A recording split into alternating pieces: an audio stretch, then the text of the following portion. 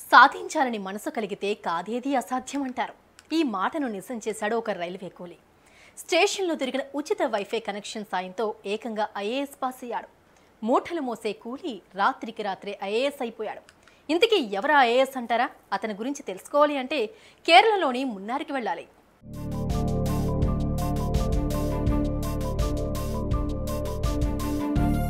Smart phone చేతిలో ఉండి ఫ్రీగా వైఫై దొరికితే ఎవరైనా సినిమాలు చూస్తారు.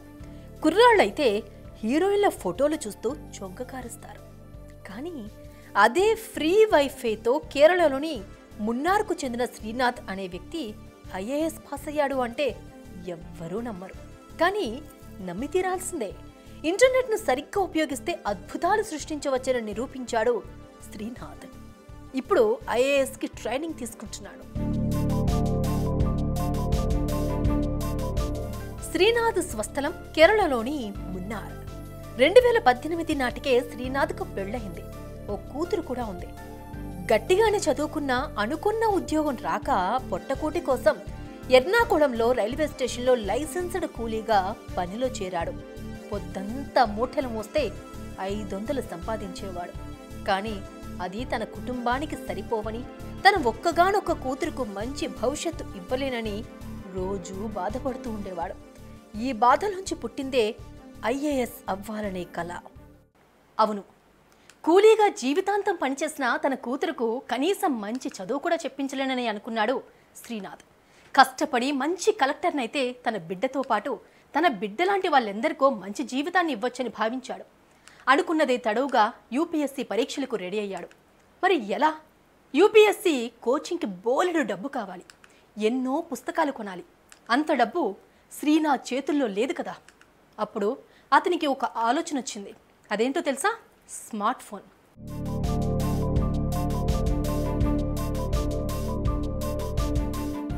రెండు వేల పదహారులో మోదీ సర్కార్ డిజిటల్ ఇండియా కార్యక్రమంలో భాగంగా దేశంలోని కొన్ని రైల్వే స్టేషన్లలో ఉచిత వైఫైని తీసుకొచ్చింది. అప్పుడు మోదీ సర్కార్ తీసుకున్న ఆ నిర్ణయం శ్రీనాథ్ కలలకు బంగారు బాటగా కనిపించింది. యూపీఎస్సీ పరీక్షలు రాసేందుకు తనకు పుస్తకాలక్కర్లేదని ఒక స్మార్ట్ ఫోన్ కొనుక్కుంటే చాలని నిర్ణయించుకున్నాడు.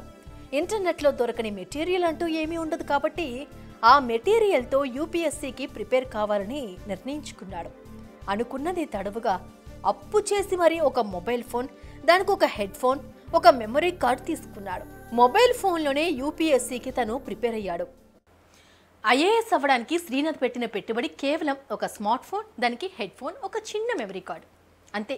రైల్వే స్టేషన్లో కూలీగా మూటలు మోస్తూనే ఖాళీ సమయంలో చదువుకునేవాడు. ఇలా రెండు వేల పద్దెనిమిది కేరళ పబ్లిక్ సర్వీస్ కమిషన్ పోటీ పరీక్ష రాసిన శ్రీనాథ్ అద్భుతం సృష్టించాడు. యూపీఎస్సీని లక్ష్యంగా పెట్టుకుని చదువుతున్న శ్రీనాథ్కు కేరళ పబ్లిక్ సర్వీస్ కమిషన్ పరీక్ష ఒక ప్రీ ఫైనల్గా కనిపించింది. ఈ పోటీ పరీక్షలో శ్రీనాథ్ కఠోర శ్రమకు ఫలితం దక్కింది. కూలీ బతుకు నుంచి విముక్తి లభించింది. కేరళ పబ్లిక్ సర్వీస్ కమిషన్లో మంచి ర్యాంకు కొట్టిన శ్రీనాథ్ ప్రభుత్వ ఉన్నతాధికారిగా ఉద్యోగంలో చేరాడు. తన కుటుంబాన్నే కాదు తాను పుట్టిన ఊరిని కూడా ఎవ్వరూ ఊహించని విధంగా అభివృద్ధి చేశాడు.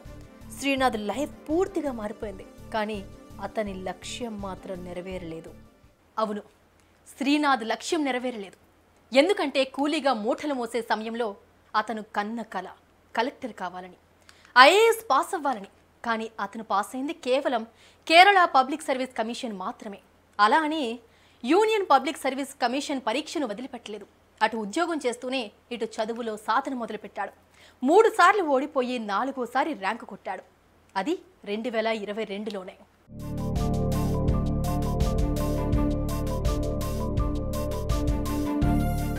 కూలీ శ్రీనాథ్ కళ రెండు వేల ఇరవై రెండులో నెరవేరింది. యూపీఎస్సీలో ర్యాంకు కొట్టి ఐఏఎస్ అవ్వాలన్న తన లక్ష్యాన్ని ఛేదించాడు.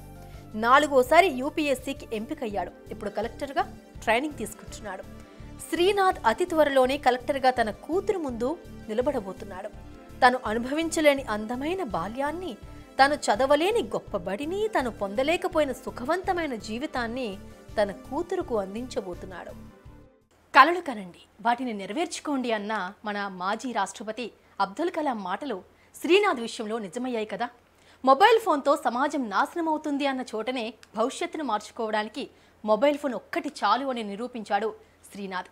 ఈ కూలీ శ్రీనాథ్ కథ నేటి యువతకు నిజంగా ఆదర్శం. మరి మీలో ఎంతమంది శ్రీనాథులున్నారు? మీ పిల్లలను ఇలాంటి శ్రీనాథ్గా మార్చాలని ఆలోచిస్తున్నారా? అయితే కామెంట్ రూపంలో పోస్ట్ చేయండి.